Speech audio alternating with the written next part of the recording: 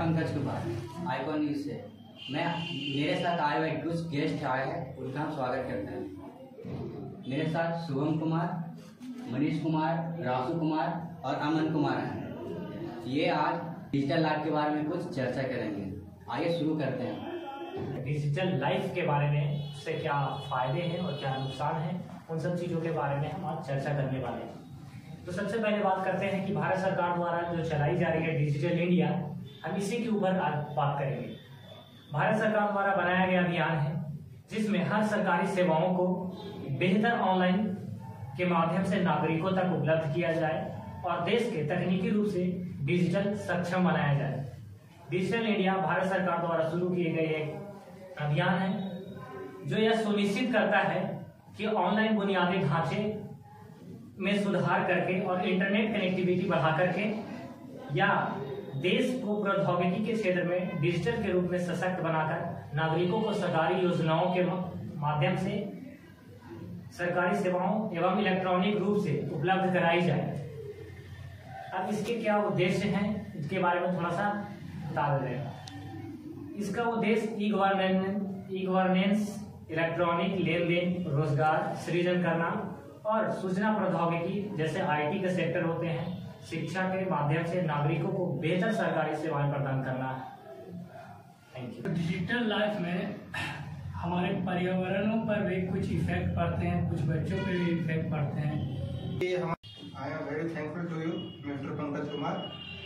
Those who give me opportunity to say something about digital life. हमारे मनीष भैया भी इस पर चर्चा करने जा रहे थे पर्यावरण से रिलेटेड जो भी बातें हों तो सबसे पहले कि डिजिटल लाइफ होने से बहुत से काम तो आसान हो ही जा रहे हैं, लेकिन इनसे कुछ नुकसान भी हैं। सबसे मुख्य नुकसान यह है कि बच्चों के हेल्थ पे काफ़ी ज़्यादा असर पड़ रहा है। बच्चे दिन भर फ़ोन चलाते हैं, गूगल और भी बहुत से ऐसे सोशल मीडिया नेटवर्किंग से जुड़ गए हैं ताकि उनके आँख से रिलेटेड प्रॉब्लम बहुत ज़्यादा हो रहे हैं।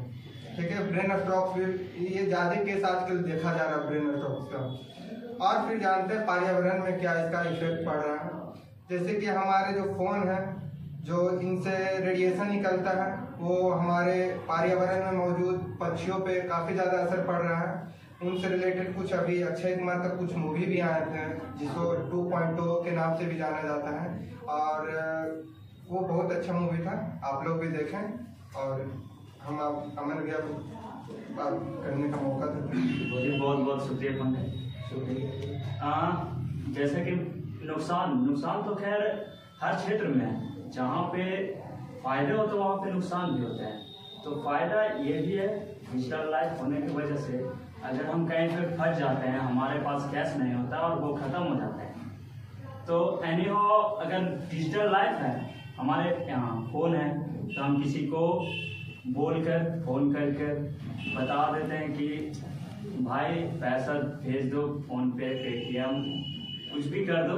तो वो आ जाता तो इस तरह से हमारे लाइफ में सुविधा है डिजिटल लाइफ की।